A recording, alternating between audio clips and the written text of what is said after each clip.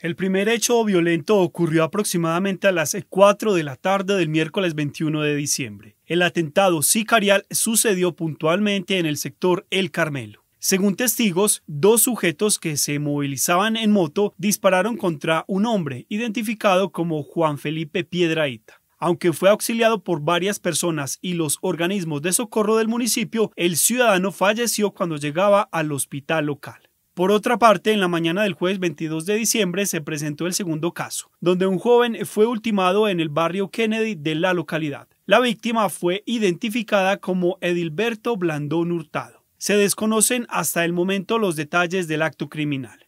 Sonson TV Noticias se comunicó con el alcalde Edwin Montes para conocer la versión de los hechos violentos y para saber qué medidas efectivas se están tomando por parte de las autoridades para controlar la racha de violencia que atraviesa el municipio. A lo cual el mandatario respondió que el día lunes, después de un consejo de seguridad con mandos militares y de policía, se darán declaraciones al respecto.